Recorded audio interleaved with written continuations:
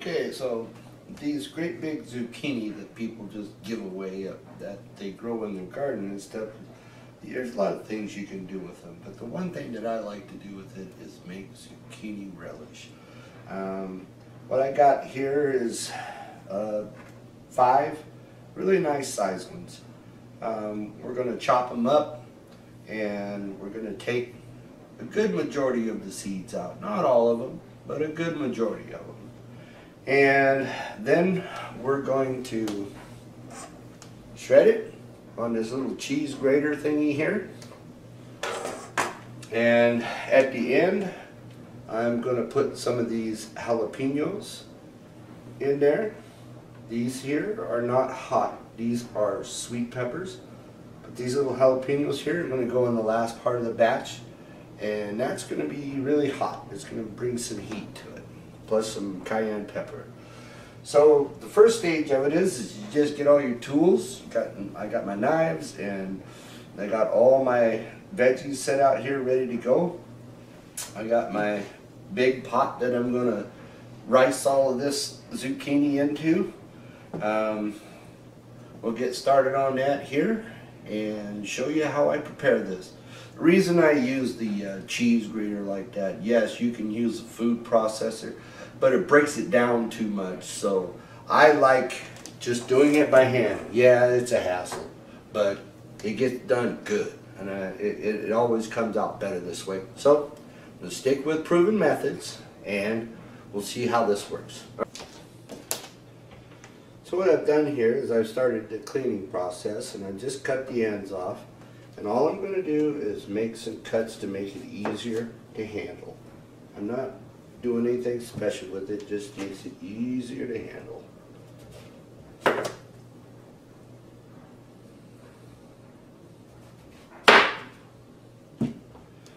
Here's the one thing that you run into when you use these big zucchinis. Cut them open, and they're full of seeds, big seeds.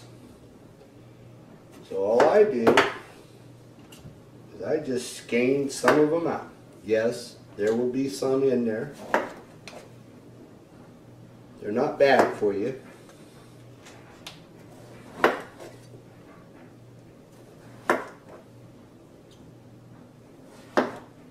Cut them in quarters like this because the next step, where I'm going to take these seeds out, it just makes it easier.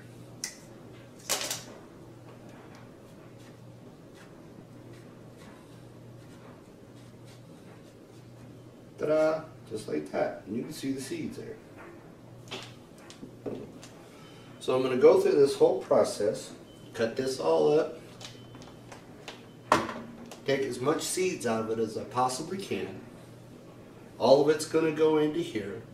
We'll wash it again, rinse it real good, and just continue on. There's the process. You can see I've already got it started. All I'm doing is just taking a little bit of the seeds out. And this stuff really isn't waste. I mean, you can you could still utilize this for something if you wanted to. You could fry it up in a little bit of butter. That'd be good. But that's the process. Just quartering, trying to take a little bit of the seed out. Good to go. So this is what I'm doing with this. You take this here, you're taking the rind and everything, and it's going right in there.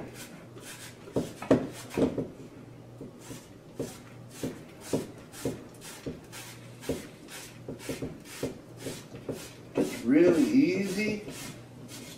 It goes really good, it's just it takes a while.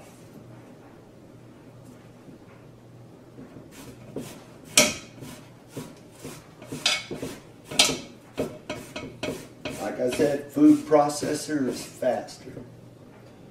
And I like this way better. It works out better in the long run. More solid product, not as much mush. Every once in a while, you're going to click that thing off just to knock the stuff out of the way. Because if it builds up down on there, it's not going to bite. It's not going to get that stuff in there. So that's the process. I'll go through this whole bowl here and get it in here. And then we'll start the other processes. And that's what I'm looking for. Nice, stringy cut. Food processor just food processor just makes way too much mush. So that's the finished product, and um, you can see there's it's a nice, long, stringy. Now we're gonna salt this and set it in the refrigerator overnight. Zucchini is very high in water content, um, so we're not adding any moisture to this at this time. Um, there's seasonings that we add to it tomorrow, and we'll get to that process soon. Okay, for this part, I'm going to chop up this big old onion here. Throw that in the mix. And when I do this, I love to have color in my zucchini relish. So I've got these tiny sweet peppers. And they're going to go in it too. So I'll get the red and the yellow and the orange in my zucchini relish. And of course I look like an idiot sitting here trying to peel this onion when it should be really simple. It doesn't want to cooperate. So, anyways, got this and these, and we're going to get right after that. Chop them all up. We're going to add it right into the mix.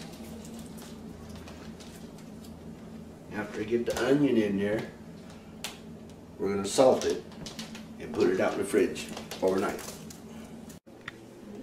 So there's my color and there's my onion. When this all gets mixed in, it'll look real pretty. Now I'm going to put five tablespoons of salt in this and mix it up real good. Going to set it in the refrigerator in the garage. Pretty. Okay, so here we are at phase two of the zucchini relish.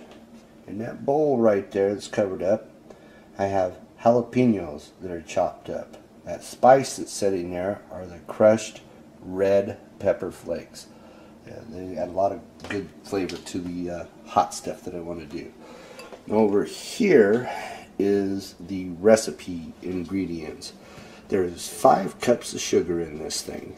And you got one tablespoon of turmeric and two tablespoons of celery seed and one tablespoon of cornstarch with two and a half cups of just white vinegar. Now they recommend cider vinegar, but uh, white vinegar is what I had. So um, the last batch turned out pretty good. And this is the salted mix.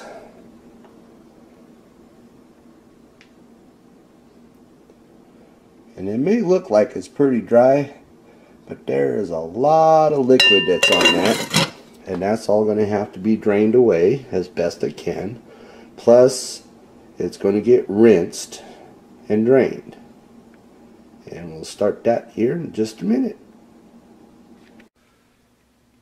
So here we are, second day of the zucchini relish. Now, you can do this according to the recipe with only salting this for three hours.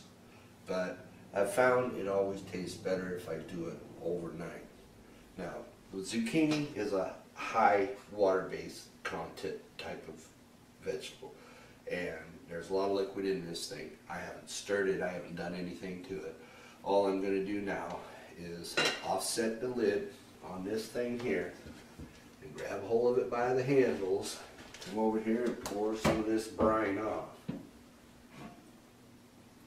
Of course you can't see it from where you're at over there but there's quite a bit coming out a little bit of your product's going to come out too. That's just a fact of life. I'm going to drain us off here just a little bit.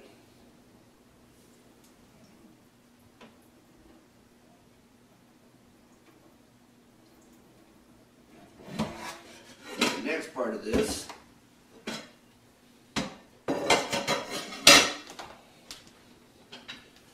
big old wooden spoon water in this and rinse it. Stir it around a little bit, try to agitate this stuff around, get it good and moist.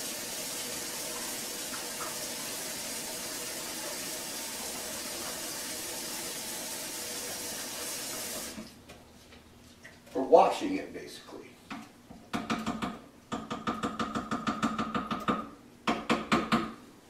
There's a lot of water in this. It's going to come out a lot faster. It's going to be a lot easier to work with. See? And it's green. Who knew it'd be green? Zucchini, you know.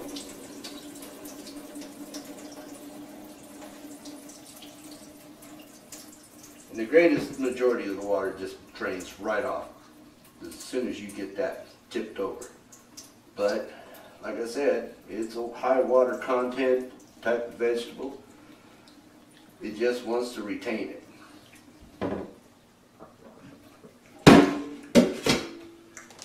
So basically gonna do this about three times. I just drained off all the water. I'm gonna fill it back up, stir it again, drain it off again, one last time. And uh, tools of the trade here. This is a splatter screen for baking. Works great for a sieve, colander type thing. You just put that right over the top, you hold it in place, you tip it over, all your product stays in the pot, you get all the water out, works really good. Wooden spoon just to stir stuff up. Got my jars all set out here, got my jalapenos in the jar in the bowl here. I got my little funnel that goes in here like this, works out great. Um, all my lids are ready. I got these tongs here for the bottles. Um, this actually goes. These uh, aren't hot bath. This is a cooked recipe. So when this comes out of the uh, pot and goes into the jar, it's going to be hot. But I do have the canner kettle set up over here with water and a rack so that I can heat my jars up because I don't want to put this hot liquid into these cold jars. I'm not a fear of them breaking or nothing like that. It's just I want that heat to maintain in that so that when I do put the lids on them, they seal. Not a great canner, don't know a lot about it, but the seal thing is what keeps them preserved. So you got to have that. That's why I warm up the jars. That's why we put it in hot and seal them up right away and let them set cool. Um, that process is all going to come down the road here in just a little bit. But the first part is we got to get this washed off, get it on the stove, and we'll bring it to a boil, and then we let it simmer for 30 minutes, and we'll go from there. Okay, so now this is the magic stuff. All the seasonings and the sugar, vinegar, it's all right here in this. We're going to pour this in here, just like this. Scrape the thing off, because I want all them little celery seeds and all that good stuff right there to get in there. Okay, there's a few we got away this time. Maybe next time. Then I'm going to stir this up. Make sure everything gets good and coated. It's going to get cooked anyways, ain't no thing. Just going to make sure it's spread around good and loose.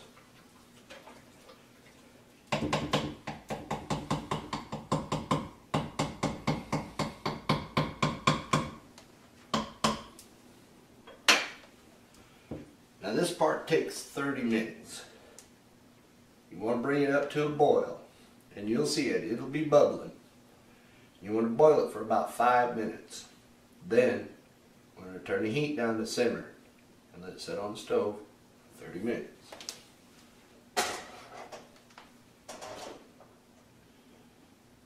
Okay. The canning process is going to go really fast. Um, it's a hot mixture. I'm going to go in there, like I said, warmed up the jars.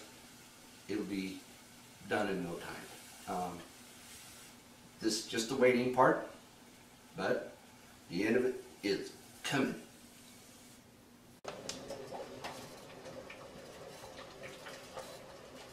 So by 8 to 10 minutes, got a good rolling boil on this sucker.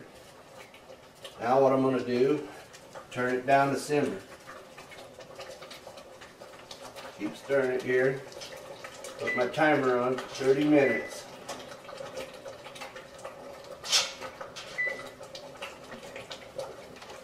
Good boil.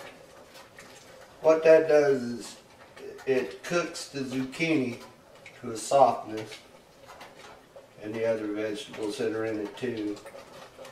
But it helps that sugar blend and the other seasonings, the turmeric and, and that. Starting to cool, they're starting to calm down on the boil now. 30 minutes. Now, there are two cups of vinegar in this, so that's liquid, plus the liquid in the, the vegetable itself. So what I'm doing is I'm leaving it open, and I'm hoping that it'll reduce a little bit. There is cornstarch in this mix, and that's supposed to give it a little consistency. It looks really good right now. Even when I batch this out into the jars, I use a slotted spoon, metal spoon that I have here. It helps me take some of that moisture away. And in the end process, when I throw the jalapenos in for the last few jars and stuff, I'll actually pour some of that liquid off. Um, so now, 30 minute waiting period. When the timer goes off, it'll be time to uh, get this project on the road. Okay, so I started my water over here to set my jars in. I'm just trying to warm my jars up. Um, this has been simmering now and the timer's just now going off. Shut that down. And I am ready to start jarring this stuff up. It's a pretty quick process. You want to try to get through it as quick as you possibly can. Um, when you fill up these jars, I try to fill them up to right about this neckline here, a little bit above. They say leave about a half an inch. That's just about a half an inch right there. So will get going here in just a second. It smells delicious. My jalapenos are ready to go in for the last little bit. Let's get this thing done. There's the first one. Now this is the smallest jar. So I put this one out first. It's pretty simple.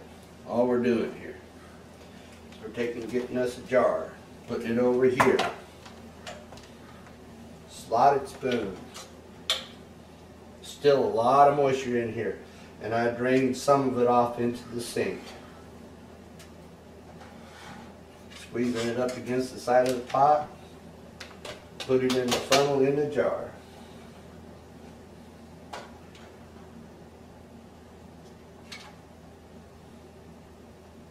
Just like that. About two and maybe a third for these little eight ounce jars.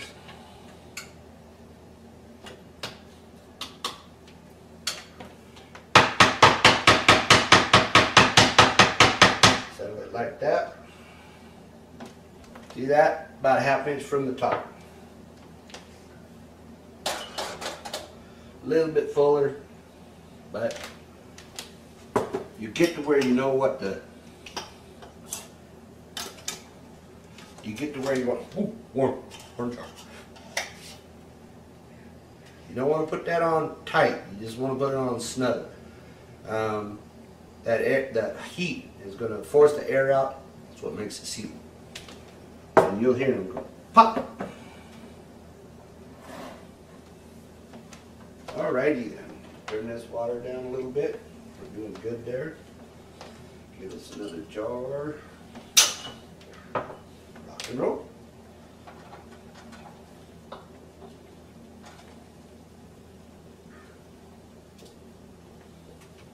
A lot of liquid in there.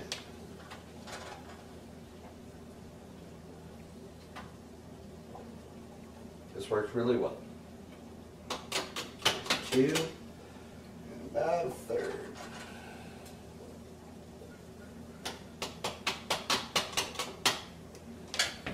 Tap it down. Ooh, yeah, them jars are getting a little bit warmer. To put just a tad bit more in this one.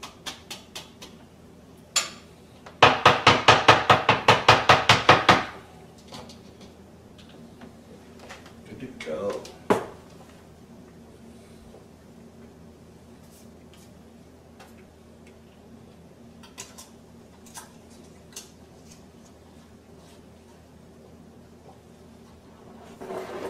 That? Three in no time. We're gonna do the rest of it. It'll be good. Okay, so there you have it. Um, I got four eight ounce jars and four pints. And the uh, the four pints, the bigger ones, are the heat. They and in them four pint jars, there are six jalapenos, and trust me, they are hot. So this is going to be some really hot relish. Um, this is a sweet base relish. Um, it has turmeric in it, which it adds a little flavor to it. Uh, it's really great on hamburgers, on hot dogs, but we also throw it in egg salad, macaroni salad, tuna fish. Um, there's a lot of different salads and things. You can add this stuff too. Tastes really, really good. Really simple to make, a little time consuming. Um, these uh, will be gifts.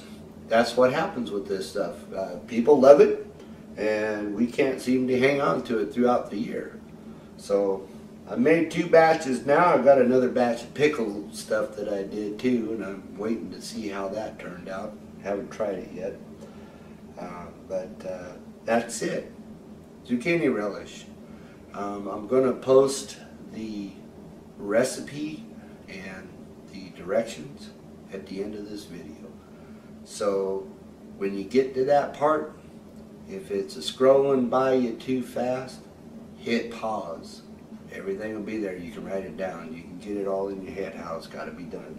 Um, it's really good stuff. I hope you enjoyed this video and welcome to my second installment of Uncle Dick's Kitchen and I hope to be doing a few more. So there it is, the original recipe.